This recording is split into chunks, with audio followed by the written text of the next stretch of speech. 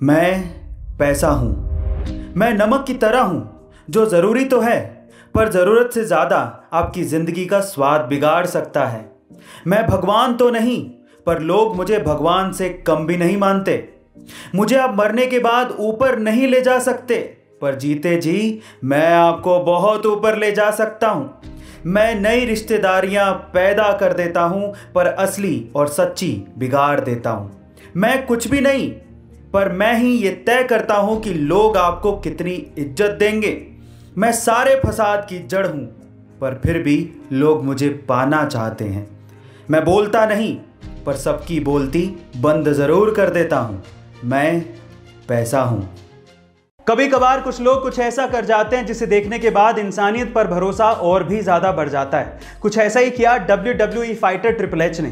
Actually हुआ कुछ यूँ कि एक बच्चे को कैंसर था और उसकी आखिरी ख्वाहिश ये थी कि वो ट्रिपल एच के साथ फाइट लड़ना चाहता था।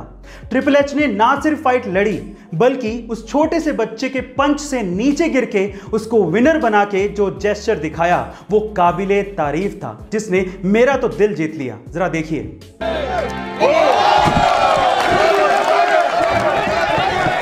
गाइस आपको ट्रिपल एच के इस जेस्चर पर क्या कहना है कमेंट सेक्शन में ज़रूर लिखेगा और ऐसे अमेजिंग वीडियोस के लिए शेयर सब्सक्राइब एंड लाइक मिलता है अगली वीडियो में। गाइस अगर आप अपनी कीमत, यानी कि वैल्यू बढ़ाना चाहते हैं तो इसके लिए आपको क्या करना चाहिए, क्या आप जानते हैं? चलिए आज मैं आपको बताता हूँ। देखिए, मान लीजिए कि अगर कोई मक्खी सब्ज़ी तोलते वक्त सब्ज़ी के तराजू में बैठ जाए तो उसकी कीमत क्या ही होगी? वो उस वक्त सब्ज़ी के भाव से तुल रही है तो उसकी कीमत कुछ भी नहीं होगी।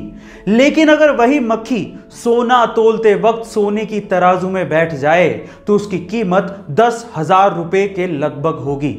इससे आप क्या समझे? जानते हैं? इससे आपको यह समझना है कि आप कहाँ पे बैठते हैं, किसके साथ बैठते हैं, यही आपकी वैल्यू, यानी कि आपकी कीमत को निर्धारित करता है। इसीलिए अपनी सराउंडिंग्स को बड़े ध्यान से चुनिएगा। ऐसे अमेजिंग वीडियोस के लिए शेयर सब्सक्राइब एंड लाइक मिलता है अगली वीडियो में। गाइज़ आपने अपनी ज़िंदगी में अभी तक कितने पौधे लगाए हैं? एक, दो, पाँच या दस? लेकिन तेलंगाना के दरीपली रमैया जी ने अपनी ज़िंदगी में अभी तक एक करोड़ से ज़्यादा पौधे लगाए हैं। जी हाँ गाइज़ आप ठीक सुन रहे हैं। एक करोड़ से ज़्यादा पौधे। उनमें पौधे लगाने की लगन इतनी ज़्यादा थी कि इसके लिए उन्होंने अपनी तीन एकड़ की ज़मीन तक बेच दी थी।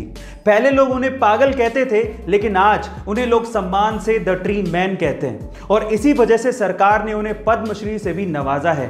गाइज़ आपको दरीपल्ली जी के बारे में सुनकर कैसा लगा? कॉमेंट सेक्शन में ज़रूर लिखेगा। और ऐसे अमेजिंग वीडियोस के लिए शेयर सब्सक्राइब एंड लाइक मिलते अगली वीडियो में।